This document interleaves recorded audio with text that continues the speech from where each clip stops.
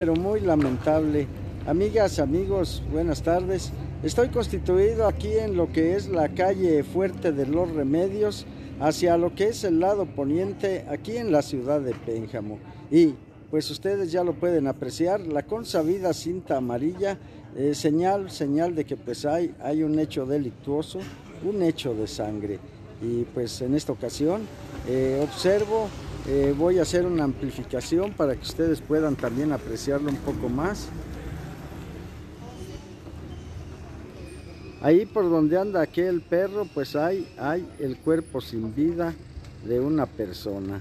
El cuerpo pues está cubierto en su parte superior eh, por una sábana blanca. Eh, se trata, amigas, amigos, de una persona que pues fue, fue ejecutada a balazos.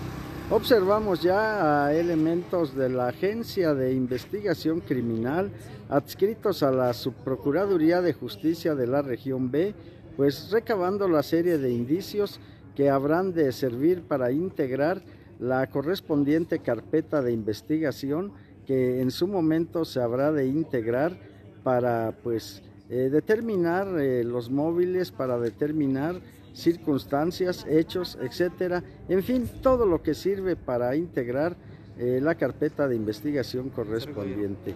¿Podría proporcionar su nombre completo, por favor? Sí, a ver, permítanme un segundo, amigas, amigos, mientras les dejo la, la imagen.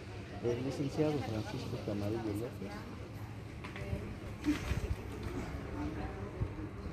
Camarillo López. Camarillo Perteneciente de, de grupo periodístico suroeste de Guanajuato.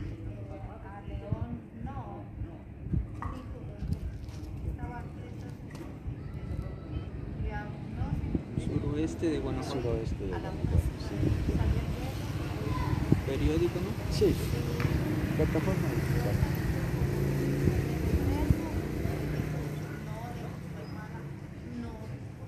Finalidad de venir a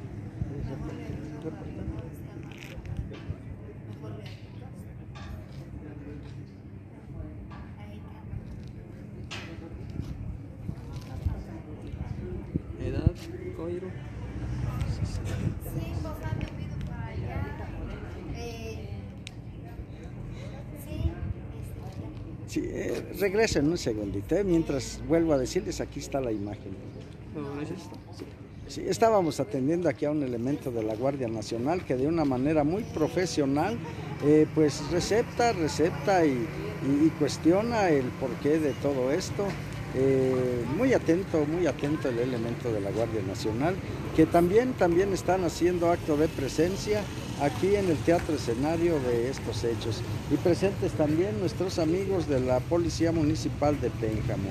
Y pues, de momento, amigas, amigos, eh, se, ignora, se ignora la identidad de esta persona.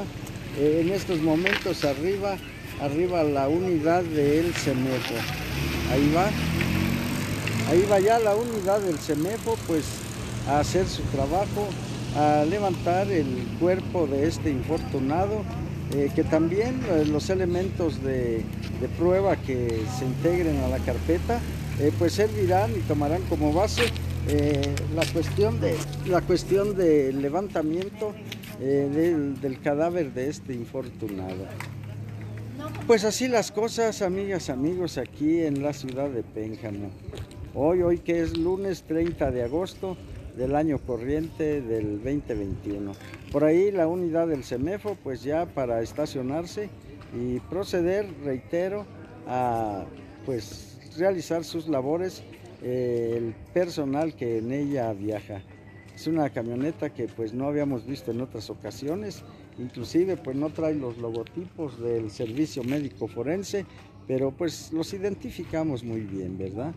Eh, es personal adscrito, vuelvo a reiterarlo, a la Fiscalía General de Justicia del Estado de Guanajuato, eh, con cabecera en la región 6 de Irapuato. Eh, esto, amigas, amigos, para que ustedes se den una idea del teatro, el teatro escenario de este hecho de sangre, para que se den una idea con más precisión, se localiza, aquí, adiós, aquí cerca, cerca de lo que es la central de bomberos, ahí están las pipas de los bomberos. Esto es en la adelantito de la contraesquina. Eh, también por acá, por donde es la calle Padre Torres. Eh, pues así las cosas, amigas, amigos, eh, en este día lunes, lunes 30 de agosto, acá en el lado poniente de la ciudad de Pénjamo, Guanajuato. Y pues, amigas, amigos, lamentable, muy, muy lamentable.